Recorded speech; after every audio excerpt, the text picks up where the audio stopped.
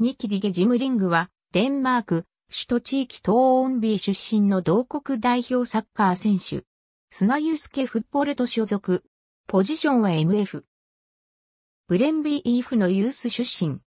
2003年1月にトップチームへ登録され、同年4月のオールボー BK 戦でデンマークスーペルリーガデビューを果たした。以後2年間にわたり同クラブでプレーし、25試合1得点を記録。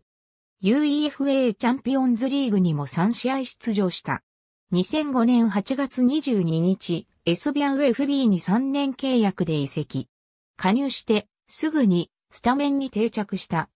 本シーズンのデンマークカップ決勝のメンバーにも名を連ねたものの、ラナース FC に1から0で敗れた。翌シーズンには公式戦30試合に出場し、イエスパーベクに次ぐチーム2位の10得点を挙げた。こうした活躍を受けて、スタッドレンヌやバイエルレバー空前が獲得に興味を示していることが報道された。2008年7月20日、同年末のエスビアウとの契約満了後に、セリエ A のウディネーゼカルチョへ加入することが発表された。2009年3月22日のジェノア CFC 戦で同クラブデビューとなった。6から2で対象したシーズン最終節のカリアリカルチョ戦では、途中出場3分後の82分に、オディオン・イガロのゴールをアシストした。2009年7月に移籍を視野に、デンマークへ帰国したが、最終的に、ウーディネに泊まった。しかし、玉版インレル、ガエターノ・ダゴスティーノ、クリスティアン・オボド、フェルナンド・ティッソーネラ中盤の層は厚く、パルマ FC とのシーズン開幕戦が、同シーズン唯一のプレー機会となった。2010年6月4日、NEC 内目編にシーズンローンで加入することが発表された。1から0で勝利したシーズン開幕戦の BBB、フェンロー戦において決勝点をアシスト。次戦ビレム2との試合では PK を獲得し、これをビョルン・フレミンクスが決め2から2の同点に追いつくと、最終的に3から5で勝利を収めた。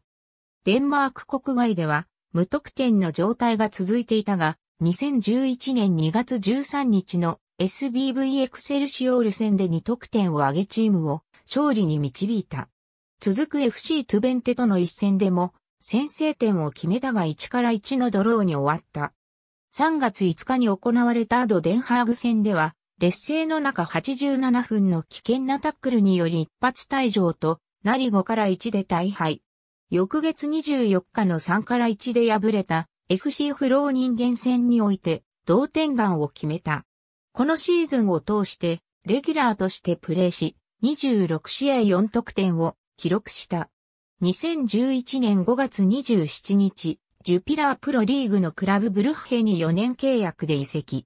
7月30日のリーグ開幕戦、KVC ウェステルローとの試合で移籍後デビュー死後から0で対象した。ベルギーカップのカーヘントとの第2戦で初ゴールを記録。PK 戦にも連れ込み、第2キッカーとしてゴールネットを揺らすも4から2で敗退した。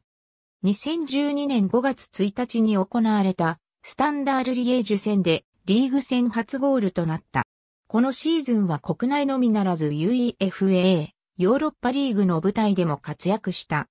翌シーズンはふくらはぎの負傷により約1ヶ月戦線離脱したが、2012年12月9日の K ベールスホット AC 戦で復帰し、ダメ押しとなる6得点目を決めた。その後同クラブではさらに3試合に出場した。2013年1月25日、オイゲン・ポランスキの後釜として、ブンデスリーガの1、FSV マインツレー後に4年半の契約で移籍した。移籍金は約175万ポンドと推定されている。2月2日の FC バイエルン・ミュンヘンとの試合でリーグデビューとなった。ドイツでの初ゴールは同月23日の VFL ボルフスブルク戦での先制点であった。2014年9月1日、エールディビジのアヤックスアムステルダムに買取オプション付きのシーズンローンで加入した。2016年2月1日からシーズン終了までに、ブンデスリーガの FSV フランクフルトにシーズン終了までのローンでプレーした。2017年6月30日に砂ユスケフッポルトと2年契約を締結し、8年ぶりに母国へ復帰することが発表された。デンマーク代表の各ユース世代で計48試合に出場。2006年の UEFAU-21 欧州選手権でもプレーし、同年のデンマーク年間最優秀若手選手賞を受賞した。2006年11月20日、モアテン・オルセン率いるデンマークスーペルリーがベストイレブン代表に選出され、翌年1月にアメリカやエルサルバドル、ホンジュラスの各国を回った。翌年1月にも同代表チームにも名を連ねた。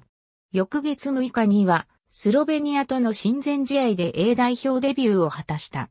2010年11月11日のチェコとの親善試合で2年半ぶりに代表復帰。翌年6月4日のアイスランド戦でコンディション不足のクリスティアン・ポール戦に代わってスタメンの座を掴んだ。以降は幼馴染のウィリアム・クビストと共に中盤を形成し、ユーロ2012への出場権を手にした。ありがとうございます。